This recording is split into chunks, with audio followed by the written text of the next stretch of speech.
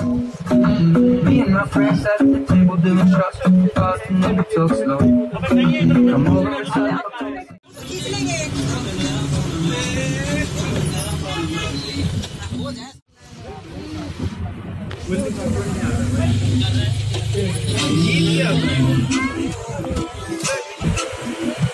Oh,